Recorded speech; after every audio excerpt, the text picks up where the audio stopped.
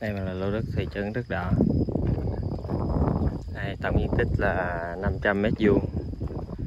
À, giá chỉ là 2 tỷ 3 bề ngang bình quân từ 12 cho tới 15 mét.